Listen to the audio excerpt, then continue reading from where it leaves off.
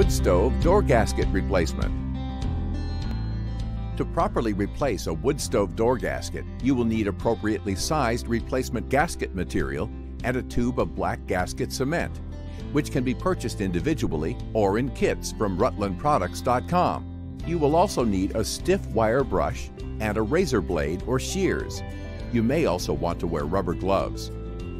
To determine the proper size replacement gasket for your specific stove door, refer to your stove's owner's manual or visit your stove manufacturer's website. If this information is not available, there are two ways to determine the size needed. Using a standard ruler, measure the width of the gasket channel, or cut the old gasket material into two pieces and measure its width. To begin, remove the old gasket material and clean the gasket channel of loose debris, soot, creosote, grime, and old cement using a stiff wire brush until thoroughly clean. Next, dampen both the gasket channel and the gasket material to ensure the cement fully adheres to the metal. To dampen the channel, simply wipe along the inside of the gasket channel with a damp cloth wrapped around your index finger. Holding the same damp cloth in your hand, now dampen the replacement gasket material by pulling its entire length through the cloth. Now you're ready to apply the cement. First, knead the unopened tube of cement for 30 to 45 seconds prior to application to improve product flow. Then, cut the tip of the cement tube at the angled line shown on its nozzle to open a hole approximately 1 8 inch wide. Carefully begin squeezing a small bead of cement along the entire length of the stove door gasket channel. Next, press the dampened replacement gasket material into the cement the full length of the gasket channel. You may want to lightly secure the gasket material with strips of masking tape during this step. Trim off extra gasket material using a sharp razor blade or shears.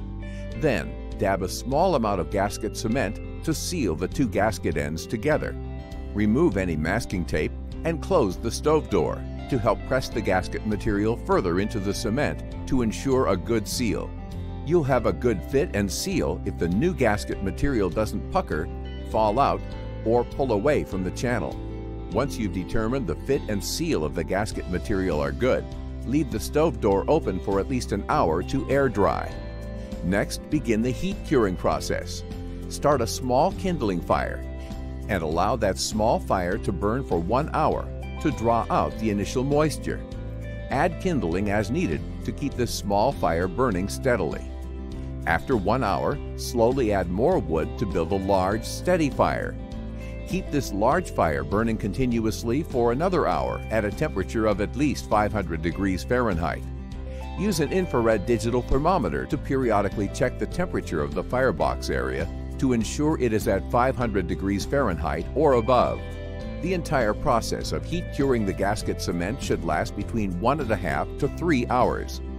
The key is to slowly build the fire to a large fire so that you don't cure the outside of the cement prematurely and trap moisture inside the bead. Once heat curing is complete, your gasket application is complete